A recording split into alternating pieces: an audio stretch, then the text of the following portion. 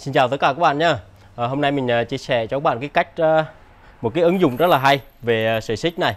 Đó là làm thành một sợi dây để phơi đồ rất là hay luôn.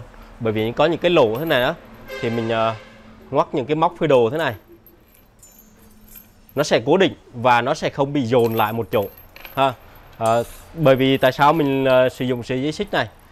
Sợi dây xích này nó dài một sợi là tầm 1m2 nhưng mà chỉ có 11.000 thôi các bạn rất là rẻ. Còn nếu các bạn mua một cái đồ mà phơi đồ chuyên dùng á, thì rất là mắc ha. Nhưng mà có một cái á, là sợi này nó dài chỉ có 1m2 cho nên cần phải nối lại những sợi này khoảng uh, 3 4 sợi 5 sợi gì đó để làm sợi dây dài.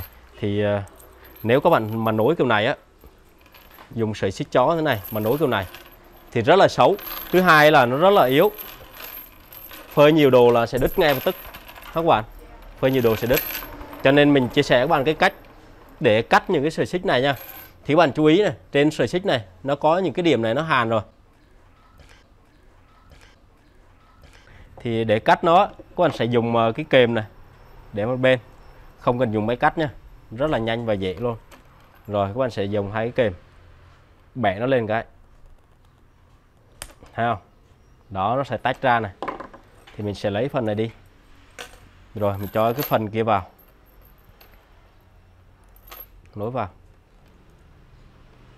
Bạn ngược lại thôi. Đấy. Rồi mình sẽ bóp. Đấy như vậy là có sợi xích rất là đẹp. Các bạn sẽ không uh, thể nào phân biệt được là chỗ nào nối. Và đồng thời nó nối liền với nhau. Lực nó chịu rất là tốt. Ha rồi các bạn thấy clip hay tặng một like và chia sẻ bạn bè các bạn cùng biết nhé chào các bạn nhé